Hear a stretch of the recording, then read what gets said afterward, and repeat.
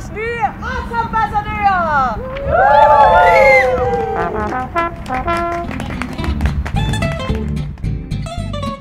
I år så har vi udnævnt 10 nye ambassadører for dyr og planter, som lever i Aarhus. Jeg er blevet ambassadør for Sølvmågen. Jeg er ambassadør for Reven.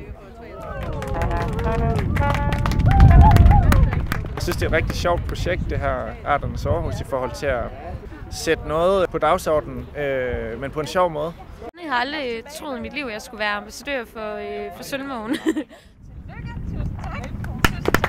Jeg har faktisk øh, skrevet en lille tale.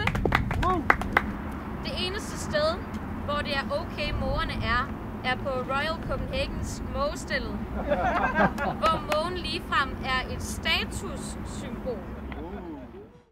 Man kan være artsambassadør på rigtig mange måder, men det handler egentlig om at prøve at finde ud af, hvordan kan jeg være med til at gøre Aarhus til en lille smule bedre by for min art. Hvad, hvad har arten brug for? Øh, jeg synes altid, det er godt at have det der udgangspunkt. Hvis min art kunne ændre én ting her i Aarhus og omegn, hvad ville det så være?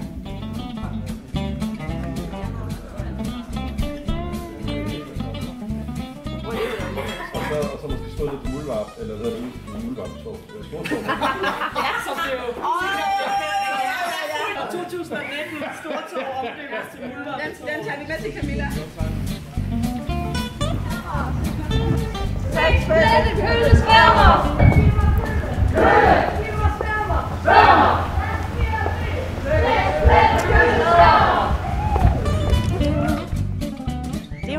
At, at skabe noget opmærksomhed omkring naturen og få den skubbet lidt højere op på dagsordenen.